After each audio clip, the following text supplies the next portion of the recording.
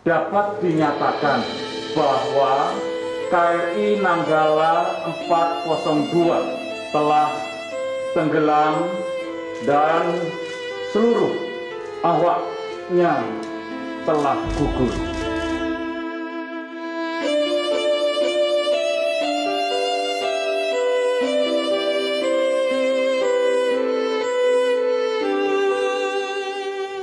Assalamualaikum warahmatullahi wabarakatuh. Negara kita baru-baru ini berduka dengan tenggelamnya kapal selam Nanggala 402.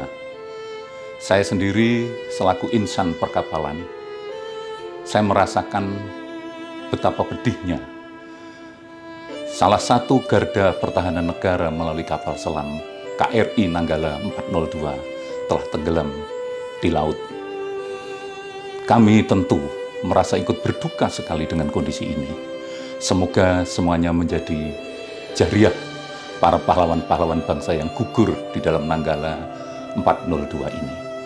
Dan semoga semuanya segera berakhir, keluarganya diberikan tabah tahan uji menghadapi cobaan ini. Kami tentu ikut berbela sungkawa, ikut berduka sedalam-dalamnya atas musibah yang menimpa KRI Nanggala 402. Saya Haji Kriswanto Santoso, Ketua Umum DPP LDI. Sekali lagi mengucapkan bila sukawa yang sedalam-dalamnya. Assalamualaikum warahmatullahi wabarakatuh.